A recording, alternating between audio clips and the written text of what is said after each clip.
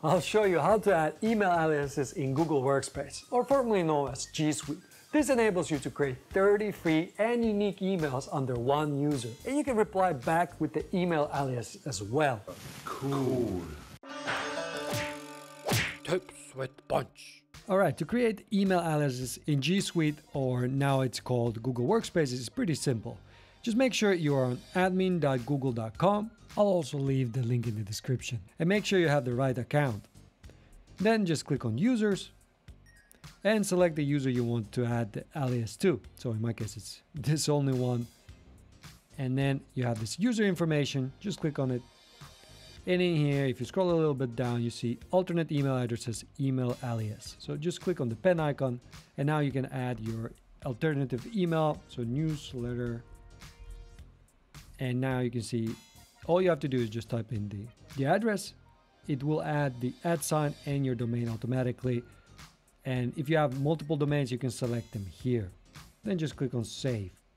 Now they say that it might take up to 24 hours for this to actually work but for me it worked in a minute. So i just waited a minute or two and then i sent a test email to myself and it worked. So now whenever somebody sends an email to this address I actually receive it to my uh, personal account, which is the robert at punchsalad.com.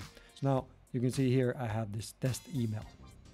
Hey, if this video has been useful so far, please give it a thumbs up because it really helps me with the YouTube algorithm. Now, if I would uh, reply to this email, the problem is that actually it would come from my robert at punchsalad.com email, and I don't want that. I would like it to come back from the newsletter email. So to do that, we need to set this up. So let's do that. So click on this uh, wheel, cog wheel, and then click on see all settings. In here, just click on accounts. And here you have send mail as, and we're gonna add another email address. So you can add here the name. So I'm just gonna add it as a newsletter. And the email will be and you need to have this checkbox selected treat as an alias because that's what it is.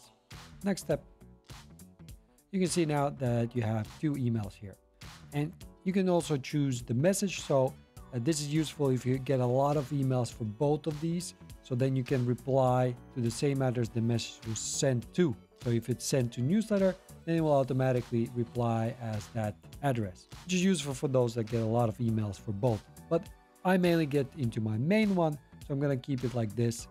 And now let's go to that test email. And if I now reply to this email, you'll be able to select the email address from here, from the drop down. So newsletter, and now hello, and send it. You can see now that we received an email from newsletter at punchsalad.com, which is great. That's what we wanted. The only limitation with these aliases is obviously that you have one inbox for all, all these emails. So for example, if you have another person taking care of this, then it's not really possible. And in that case, you need to create another user in Google Workspace. By the way, have you considered starting an email newsletter? Well, I've reviewed 16 tools and selected the top 5 based on different criteria and one of them is totally free tool to start with. You can learn more about that in the video right here. And if you are new to Google Workspace, there are some great tips and tricks that you really should know about, as they make your life so much easier. More about that in the video right here. Oops.